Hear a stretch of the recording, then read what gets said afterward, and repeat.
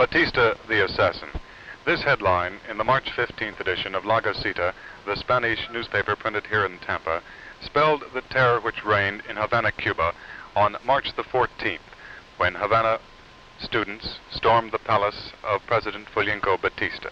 Since that time, resentment against the present Cuban government has grown throughout this country and other lands around the world.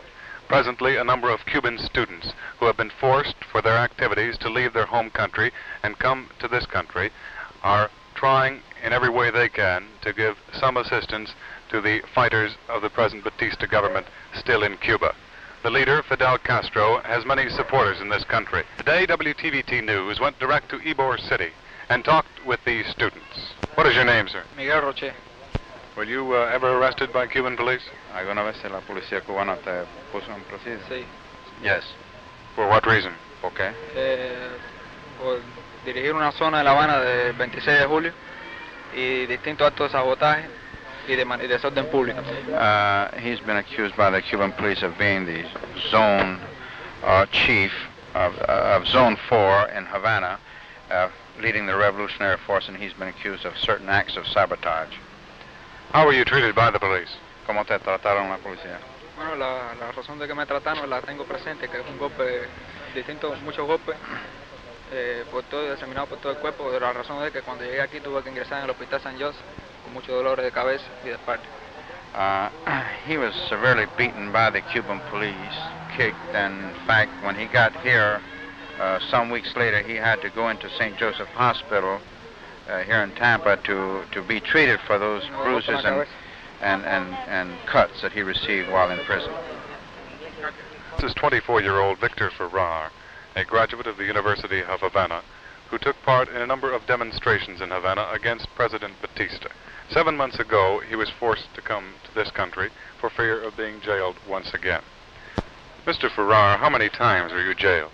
Oh, about six or seven times, can I remember.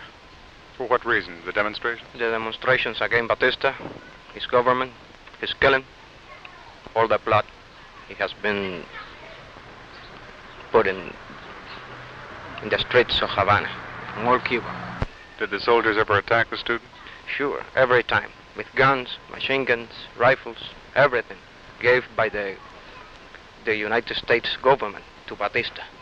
I appeal to President Eisenhower to send no more arms to the Cuban army because with that guns, machine guns, all the all that kind of weapons, they kill the Cubans and try to support the dictatorship of Batista.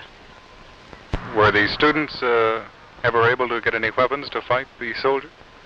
Well, the only fight that we can make is with the freedom, with the demonstration, and now with the arms. You mentioned Fidel. Does he have a rather large following in Cuba itself? Sure, Fidel Castro is a true hero, like President Prío said yesterday.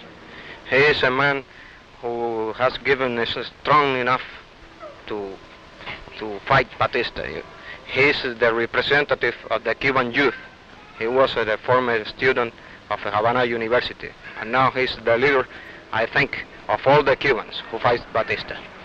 All of this is happening not around the world in Europe or Asia, but less than 300 miles away from Tampa. We are actually closer to this than we are to our own capital of Washington. A meeting will be held in Tampa this coming Sunday at 3 o'clock, in which a number of persons who have been directly touched by the present Cuban situation will talk to local Spanish-speaking people.